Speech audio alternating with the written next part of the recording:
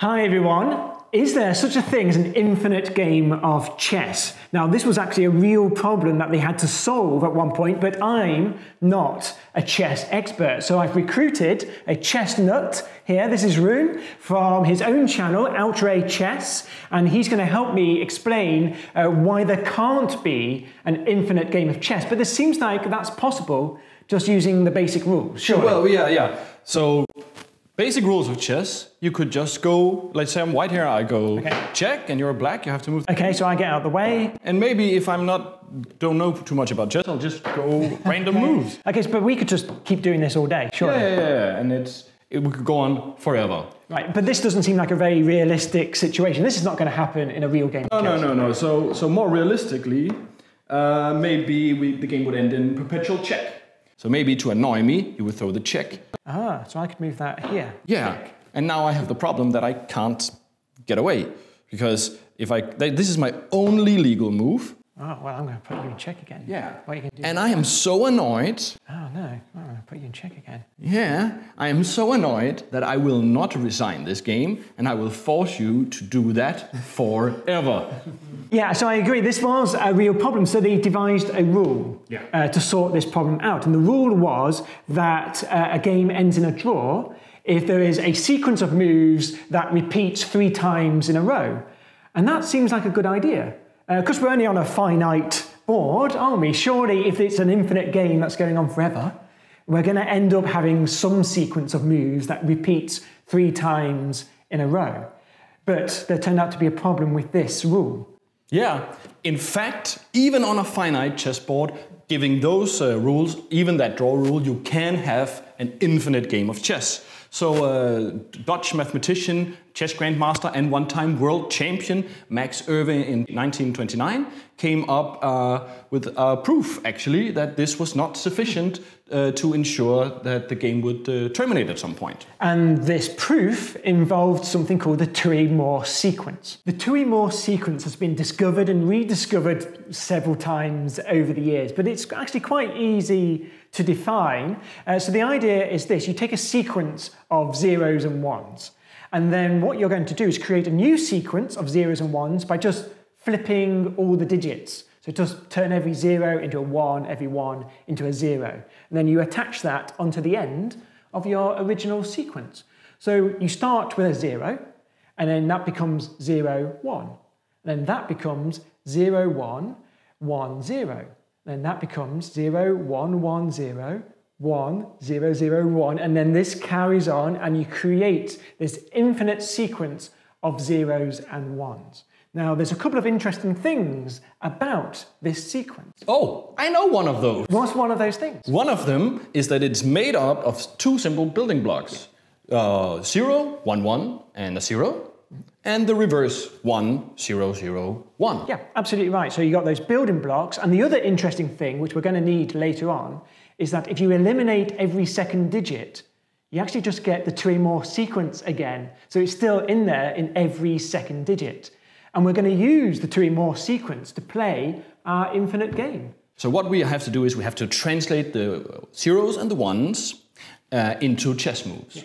So, let's say that uh, for every uh, zero, we have a sequence of moves that would be uh, white goes first. So, we have this move, it's black's turn. This is not a very interesting move, we're just trying to prove, prove a point, so it's not black's turn. And then white, rather timidly, moves back.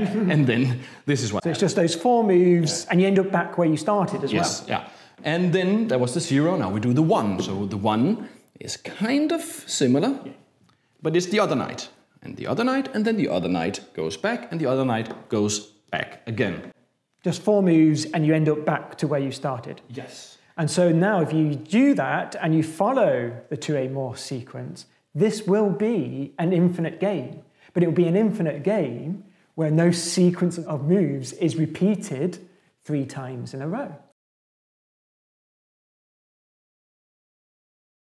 And we can prove that this works as well. Well, we can't, you can. First, we know, like you said, that the sequence is built from building blocks of 1001 and 0110. Uh, so we know that there can't be any short sequences repeated three times in a row. You can't have 000 Yeah. or 010101 because that's not built out of those building blocks. So we can rule out those short sequences that get repeated. Now, the other thing we know is that the sequence can't be of odd length uh, because the double digits in the Thue-Morse sequence always appear at odd positions. Now, if you had a, a sequence of odd length, if it was 0, 1, 1, repeated 0, 1, 1, 0, 1, 1, the double digits will not always be in the odd positions, so that's impossible. So we know if there is a sequence that repeats three times, it has to be even length. Uh, so let's say it's something like 0, 1, 1, 0.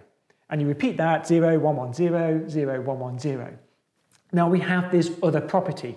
If we eliminate every second digit, oh, we get the original yeah. sequence back again. Yeah. Well, if we do that, uh, in this case, you'll see that if we eliminate every second digit, we shorten that down, we halve its length, and we get 0, 1, 0, 1, 0, 1, and we already know that's impossible. That is not part of the Thue-Morse sequence. So that is an impossible repetition. And that's the same for any sequence of even length. If we just keep halving it, we just keep eliminating every second digit and keep halving the chain length, eventually you'll end up with a short sequence that we already know is impossible. Yes. So we can prove that you can't have any sequence three times in a row, and that's exactly what we need to show that we can have an infinite game of chess. And we don't really want an infinite game of chess. No. We want a finite, we want the game to terminate. But I believe there are two new rules that we use today that prevent an infinite game from happening. Yes, so Max Euwe, he noticed this problem and they fixed it. So uh, they introduced two rules. One is called the 50 move rule. So 50 is a great number. And uh, uh, what it is, is that uh, if no player moves a pawn, and no player captures a piece for 50 moves, that's why that's the name of the rule, the game can be declared a draw. And that makes sense because that means each player is forced to play irreversible moves. Yeah, it is not sufficient in itself. They have a second rule also. It's called uh, the threefold repetition rule. Mm. And it's about repetition, but it's not a sequence of moves yeah. repeating. It is board states or positions, as we usually say in chess. So you're not allowed to repeat the same board state three times in a game? During a game, if the board state or the position three times, not necessarily in a row, but just three times during the game, repeats, you can claim a draw. Uh, but I've heard that these rules only take effect if the player notices. You have to claim the draw, yes. So if you don't claim the draw, you could just chase each other around. If you day. didn't really have anything else to do, you could just go on forever and nobody claims the draw.